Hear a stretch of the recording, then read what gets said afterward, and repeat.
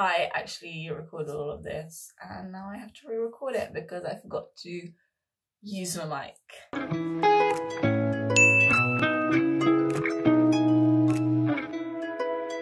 So if you've never been here before, hi, howdy, how are you doing? My name is Kesvi and in this video, we're gonna be talking about things that I was surprised about when I first moved to Canada. If that's something that interests you, you should probably hit that subscribe button like now. And if you haven't seen my previous video, I have actually already done one like this and I will link it just up here and I'll link it in the description below. So go check that out. This video is not disrespectful to Canadians. I love Canada. I love everything about it, but it is just things that I found surprising when I went there, things that I wasn't expecting, um, things that I didn't realize were a thing, I guess. I hope you guys enjoy. These are five more things that I wish I knew before I moved to Canada. So there were quite a few things in Canada which I was surprised at how expensive they were.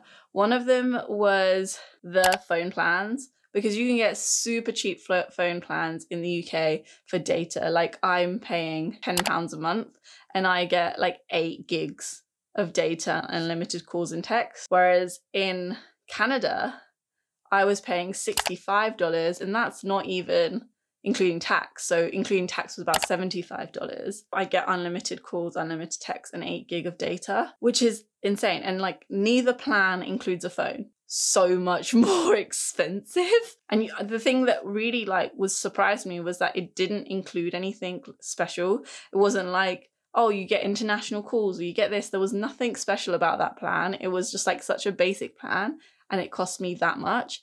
I was with Fido and I actually think that they had some of the best prices. So in the UK, we don't have a big tipping culture. One of the things that surprised me was that in Canada, being a server could be like a career. In the UK, that is not how it is. Generally, people will like kind of do other things or they'll move up to management. Like they'll want to move up, up, up in a company. They won't want to stay as a server. I worked in a restaurant in Toronto and in Whistler, and the servers there all lived off their tips and not their wages blew my mind. And the fact that people did this once they started, they did it for the rest of their lives. When I was in Toronto, some of the guys that I was working with had been serving for like 30 plus years and they were making good money. I couldn't get my head around it. I just, it still now baffles me. Being in the service industry, people should get tips because you get so much crap for being in the service industry from people just generally. Okay, so let's talk about an English classic tea. If you guys know me, all of my first videos, I would ha always have a cup of tea in my hand. However, if you go into Canada and you ask for tea, they will give you not black tea, which is what we're used to, they will give you orange pekoe because apparently that is their standard in Canada and it does not taste the same as black tea. Mm, mm, mm. Nope. If you are a tea lover like me, I have it in my blood. I am Indian and British, so you know, it was never not gonna happen. You have to ask for either black tea, no, not even black tea, don't ask for black tea. Ask for English breakfast tea because that is the only way that you're gonna get normal black tea. Trust me, you do not wanna have orange pekoe. I mean, try it once. If you like it, go for it. Also, when you go to the shops, and you look in the tea section, it will be full of orange pekoe. you literally have to search for what they call English breakfast tea. I thought that was really strange because I generally believe that tea is tea wherever you go, but apparently I was wrong. I don't want you to make the same mistakes. The next thing that surprised me was how expensive flying from one part of Canada to the other part of Canada is. This might not be everywhere in Canada, but I remember I paid the same amount to fly from Toronto to Vancouver than I did to fly from Vancouver to London, UK. I'm sorry, what? Isn't that crazy? Like, how did I spend exactly the same amount of money going within a country than I did going to the UK. which is a 10 hour flight. That's a long, like, it's quite a long flight.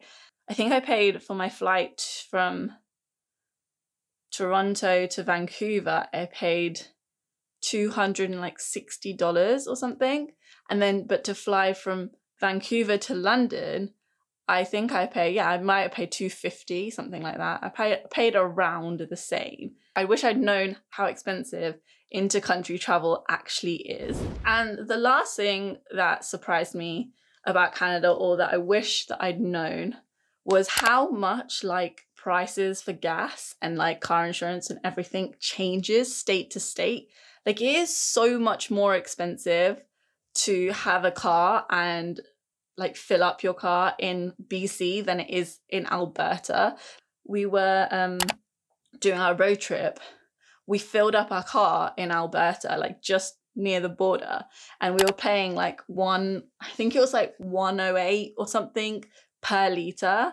And literally, the moment we got into BC, the prices shot up. Like, I mean, like, we went from paying 108 to paying like 138.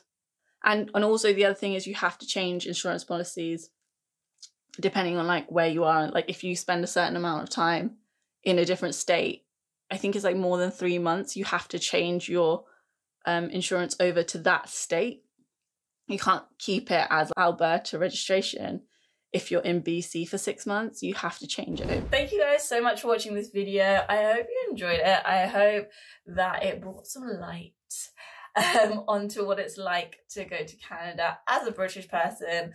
This is not me saying I don't like Canada or anything like that. I'm just saying these are the differences that I found between Canada and the UK or things that I was surprised about. So it's all in good jest. Um, I hope you guys enjoy this video. Thank you so much for watching. If you like this video, give it a big thumbs up. And I mean, you should probably hit that subscribe button now. I hope you guys have a great day, have a great night, have a great week. If you have any questions, either put them in the comments below or hit me up on Instagram. My I'll put my at just here. Um, I love replying to your questions and I will either see you on Instagram or I'll see you in the next video.